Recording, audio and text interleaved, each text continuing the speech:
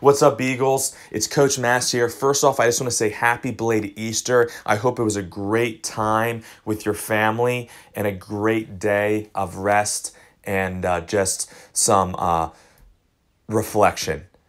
What I want to do today is go over tip number six and continue our series on healthy sleep patterns. So, tip number six is going to be don't take naps after 3 p.m.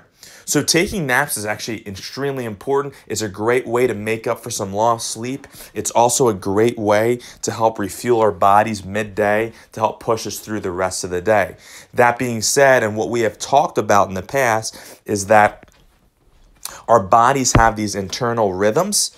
And if we sleep too late in the day, that can sort of throw off our rhythm of wanting to sleep at a certain time like we've been talking about, we want to keep ritual, we want to keep routine, and that allows us to get the quantity and quality of sleep that we need. So if we sleep too late in the day, it might help, it might throw that off and then not allow us to sleep to our full effect. And we want to make sure that we're sleeping to our best ability. So when you do take naps, try to take them earlier in the day. I would suggest around noon, maybe 30 minutes to an hour of rest. That's going to help refuel, recharge that battery, and then we should be good to go the rest of the day.